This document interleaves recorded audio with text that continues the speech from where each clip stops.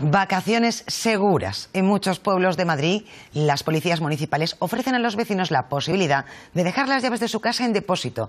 Ante cualquier imprevisto, los agentes pueden avisar a los dueños y actuar en los domicilios. Rivas fue el municipio pionero. Dígame, Javier. Venía a entregar las llaves porque me voy de vacaciones. Cuando pueda, facilítame su DNI y su documento de nacionalidad. Desde el año 2002, la Policía Local de Rivas puso en marcha esta iniciativa para dar tranquilidad a quienes se van de vacaciones.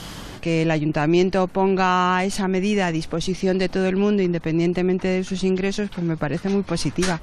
Hay dos posibilidades, facilitar un teléfono de contacto o dejar las llaves en comisaría.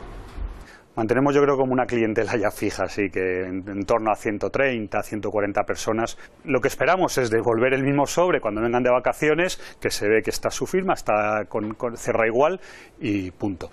En el caso de tener que entrar, el protocolo de acceso es siempre el mismo se llama por teléfono antes, se manda el patrulla, obviamente, pero se intenta localizar en mismo momento. Diga, mire, que está saltando la alarma o que tiene usted un problema, está saliendo agua de su casa, eh, si no tiene inconveniente, accedemos, entramos y luego se hace un informe.